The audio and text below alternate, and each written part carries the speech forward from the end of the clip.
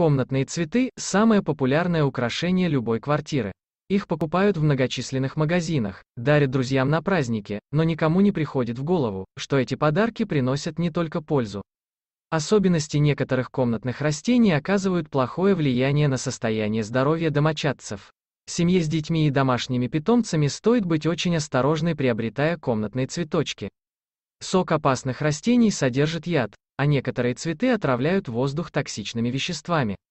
Опасной может быть как зелень домашней рассады, так и красивые домашние цветы.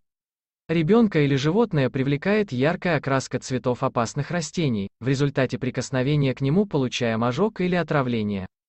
Таким зеленым друзьям необходимо подобрать правильное место, а не ставить их в детской или спальне. Отсутствие животных и детей в доме не повод расслабляться. При работе с такими растениями все равно надо соблюдать осторожность. Обрабатывать опасную зелень нужно в перчатках, а после работы необходимо промывать инструменты. Ядовитых домашних растений очень много, поэтому приобретая что-то сразу стоит узнать, к какому семейству оно относится.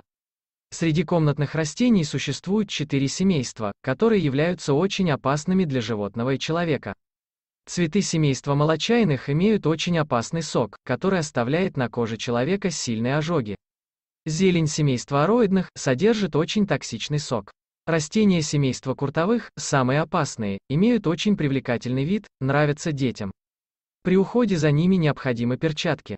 И семейство посленовых, в котором не все растения ядовиты. Например, картошка или помидоры. Но цветы семейства посленовых, в частности их плоды, вызывают отравление, тошноту и рвоту.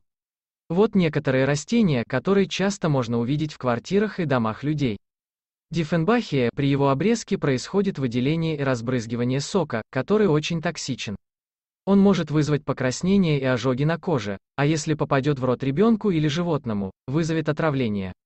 Запах цветущего олеандра вызывает тошноту и головокружение, а его сок в организме человека или животного приводит к слепоте. Похожие симптомы могут проявиться и при контакте с молочаем, монстерой или примулой. Выбирая для дома зеленого друга, стоит серьезно подготовиться и определить, какие растения можно взять, от каких стоит отказаться, как бы ни были они красивы.